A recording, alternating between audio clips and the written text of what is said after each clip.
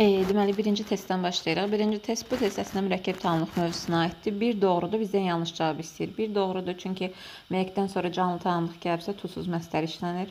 B də doğrudur. Would prefer-dən sonra to məstər gəlir. Prefer-dən sonra to ing hər ikisi olar, amma would prefer-dən sonra sadəcə to məstər gəlir. C variantı yenə doğrudur. Watch-dan sonra hissi qavrayış bildirən feil olduğu üçün ya tusuz ya ing, yəni play-də olardı, playing-də. D variantı yanlışdır. Çünki so, yəni C siqara verir. Ona görə də özündən sonra ya be ya da being olmalıydı. Y variantı expect-dən sonra to ilə gəlir. Deməli doğru cavabdır. Yəni bizdən düz yanlış olan istəyirdi. Yanlış olan D variantı idi. 2-də expect-dən sonra to ilə gəlir. Ona görə də B variantı to be. 3-ə baxırıq. A variantı yanlışdır. Niyə? Orada sizə kömək edən şey by heard, onun tərəfindən kömək edilməsindən şübhələnirəm.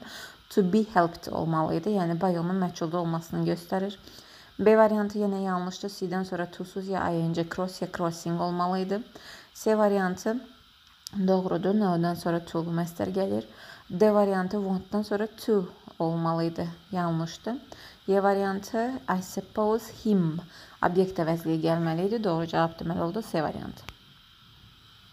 4-də yenə expect özündən sonra çulu məstər tələb eləyir. Ona görə ya A ya D variantıdır. Term deməli consider yəni bizim ə, tamamlığımız cansız olduğu üçün məchulda verməli idik. We expect our terms to be considered carefully. Diqqətlə nəzərdən keçirilməsini gözləyirdik. Deməli 5-cidə refuse-dan sonra to-lu məstər gəlir. Deməli Y variantı yanlışdır. A variantı to be the party qızların parti olmasını tərcümə ilə yanlışdır. B variantı qızların partiyə qoşulması bu düzdür. Letdən sonra to-suz məstər girls join the party. C variantı deməli they refuse to allow the girls to join the party. Bu da doğrudur. D variantı yanlışdır. Çünki qızlar var, parti var. Deməli məlum növdür, məchul olmamalı idi. Y variantını onsuzda çıxmışdıq. Deməli B və C variantı hər ikisi doğrudur. 6-dan yanlış cavab tələb olunur. A variantı The manager ordered our department to dismiss. Ordered to bu okey. B variantı ask'tan sonra to bu da okey. C variantı ordered to okey. D variantı was told to okey. Y variantı told to be okay. Amma indi burada yəni məstər ə, e, özündən sonra gəlmə hissəsi doğrudur. Sadəcə məlum məchula baxmalıyıq. Digər variantlar məlum məchula görə doğrudur. Yanlış olan şey A variantıdır. Çünki ə, e, menecer şöbənin buraxmasını yox, buraxılmasını əmr etdi. Yəni to be dismissed olmalı idi. Məsələn, B-də equipment avadanlıq e, göndərilir. Ona görə məchuldur. C variantı yenə e, müdirin bizim şöbəmizi buraxmasını, işdən azad etməsini istədi.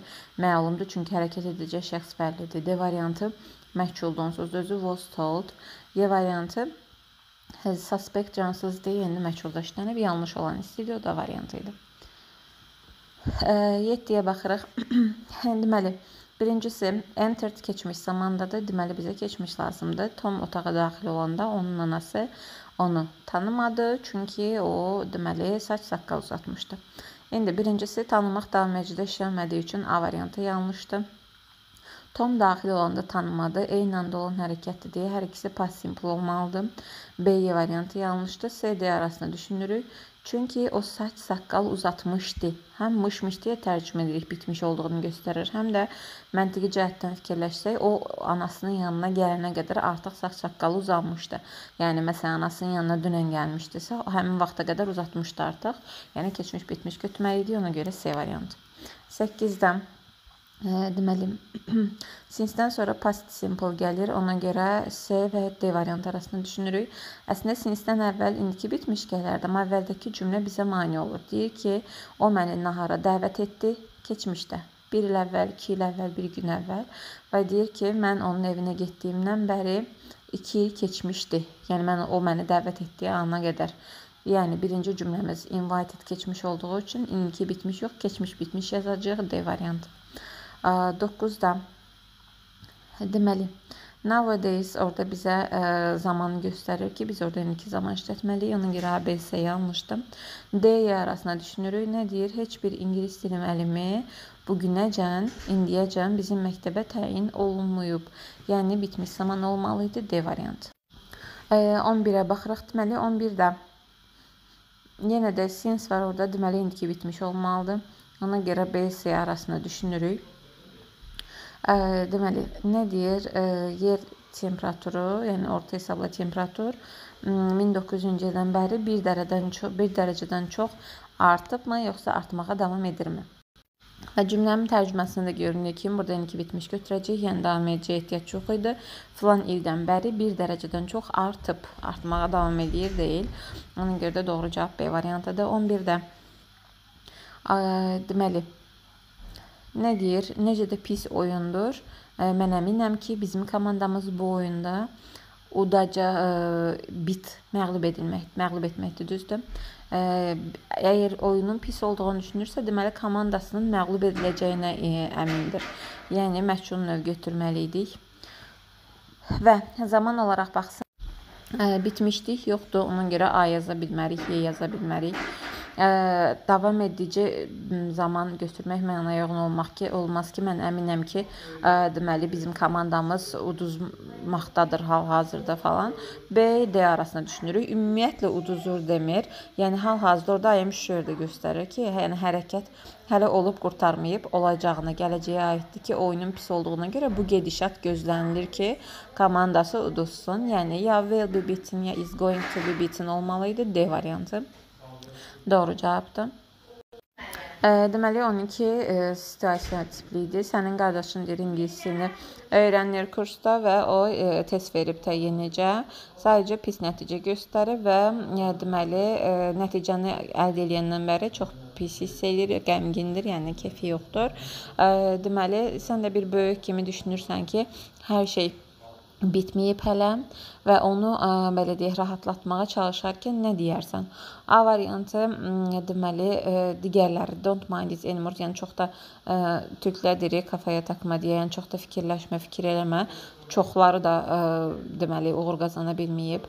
B variantı ə, sadəcə ə, deməli you could pursue your master to postpone ə, sən deyir öz ə, belə deyək də ə, müəllimini deyək, nə deyək, e, imtahanı təxirə salmağa inandıra bilərsən, yola gətirə bilərsən.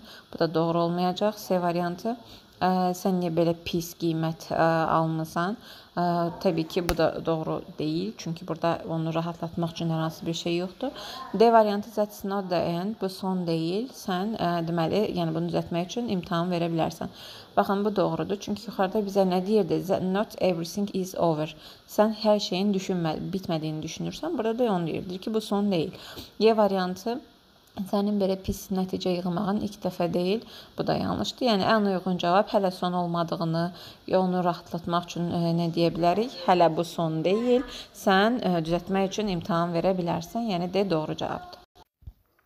13-cü testdə biz demişik ki, after olan cümlədə bitmiş işlədə bilərik. Yəni digər cümlədə bitmiş işlətməliyik. Çünki iki hərəkətdən birinci olan budaq cümlədə olanda after olan hissədə baş verəndir. Biz də digər cümlənin zamanını yazacağımız üçün bitmişləri çıxmalıyıq. Ona görə A, B, Y variantı yanlışdır. C və D arasında düşünürük. D variantında orada keçmişə nəzərən gələcək would become olardı. Bunlar doğru deyil. Cavab olacaq C variantı. Yəni sadə keçmiş zamanını danışır ki, 1500-cü ildən sonra qalaların konstruksiyası daha olmadı və qala bir terminə çevrildi. Yəni sadə keçmiş zaman was became. 14-də ikinci cümlə bizə kömək eləyir. Zaman zərfi var. Now indiki edici zaman zaman zərfidir. Ona görə B, Y arasında düşünürük. Y-də də zaman uzlaşmır. Çünki would işlətmək üçün orada bir keçmişlik olmalı idi. Cavab olacaq B variantı ki, teatr şirkətinə şəxsinə 6000 məbləğində mükafat verilib və indi də daha 2000 axtarır. 15-ci testdə deməli in those times həmin dövrlərdə həyat çətin idi və onların hər ikisi üçün ağırlayıcılı idi. İndi orada was keçmiş zaman işlənib və those times bizə keçmişi olduğunu göstərdi.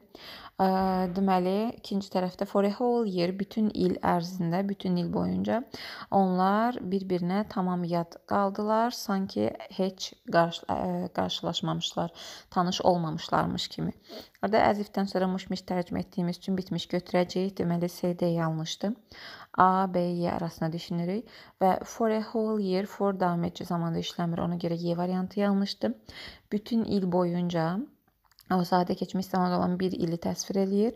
Məsəl üçün, ya in um, 2000 dedik, 2000-ci ildə ya da bütün bir il boyunca, yəni 2000-ci il boyunca sadə keçmiş zaman işlədəcəyik. Ona görə cavab olacaq A variantı. 16 sifətin ardıcıllığına aid idi. Demişik ki, opinion birinci gəlməlidir. Ona görə C variantı yanlışdır. Beautiful birinci gəlməli idi. Çünki gözəllik mənim fikirdir. Mənim fikrimcə gözəl olan biri sizin fikrinizcə gözəl olmaya bilər.